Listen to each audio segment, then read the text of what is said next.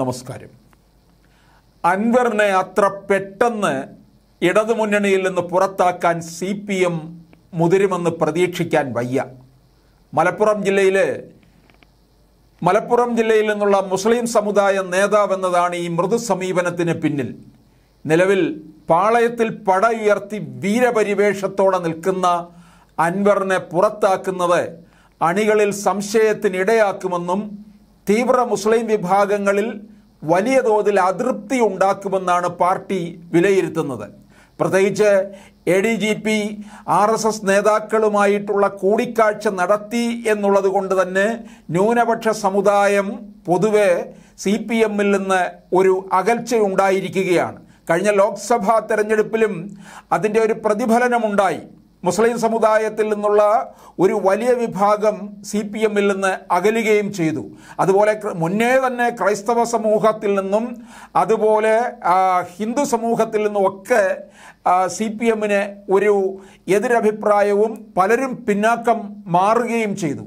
ഇപ്പോൾ അൻവറിന്റെ ഈ പ്രശ്നത്തിൽ ഇനി അത് കൂടുതൽ ശക്തമാകും എന്നുള്ളത് കൊണ്ടാണ് ഒരു മൃദു സമീപനത്തിൽ നിൽക്കുകയാണ് പാർട്ടി ഇപ്പോൾ. സജീവമല്ലാത്ത പാലൊളി മുഹമ്മദ് കുട്ടിക്കും ടി കെ ഹംസയ്ക്കും ശേഷം മറ്റൊരു മുസ്ലിം നേതാവിനെ ഉയർത്തിക്കൊണ്ടുവരാൻ പാർട്ടിക്ക് മലപ്പുറത്ത് കഴിഞ്ഞിട്ടില്ല എന്നുള്ളതാണ്.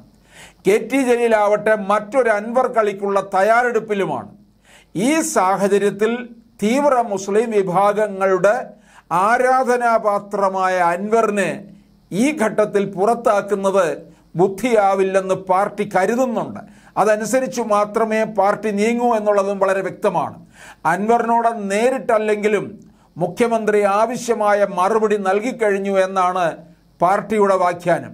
അൻവറിന്റെ അടുത്ത നീക്കങ്ങൾ അറിഞ്ഞിട്ട് മാത്രം നടപടി എന്നാണ് പാർട്ടി തീരുമാനിക്കുന്നതും. അല്ലാതെ അതിനു മുമ്പ് എടുത്തു ചാടി ഒരു തീരുമാനത്തിലേക്ക് അതായത് കടുത്ത തീരുമാനത്തിലേക്ക് കടന്നു കഴിഞ്ഞാൽ അത് സി പി എമ്മിനുണ്ടാകുന്ന ഒരു വലിയ തിരിച്ചടിയാകും എന്ന് പാർട്ടി കണക്ക് കൂട്ടുന്നുണ്ട്.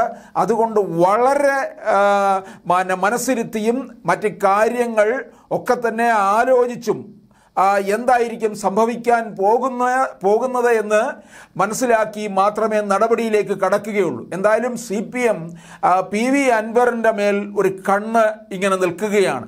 എന്താണ് പി വിയുടെ മുന്നോട്ടുള്ള പ്രവർത്തനങ്ങൾ? ഏത് തരത്തിലാണ്? ഏത് തരത്തിൽ ഇനി മുന്നോട്ട് പോകും എന്നുള്ളതൊക്കെ സസൂക്ഷ്മം നിരീക്ഷിച്ചതിന് ശേഷമേ പാർട്ടി മറ്റ് നടപടിക്രമങ്ങളിലേക്ക് കടക്കുകയുള്ളൂ.